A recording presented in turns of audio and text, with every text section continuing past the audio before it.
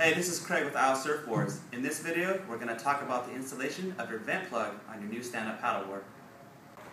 So first, you're going to locate your center box fin, which is packaged within the tail of your new stand-up paddleboard.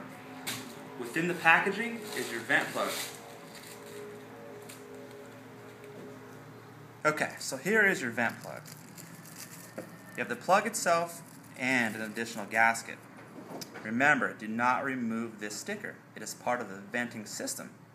So take the additional gasket, put it into the hole, and then put the plug on. And screw with a screwdriver or nickel. Now this is a maintenance-free, one-way air release system that allows air to escape when the board gets hot, but will not allow water to get in.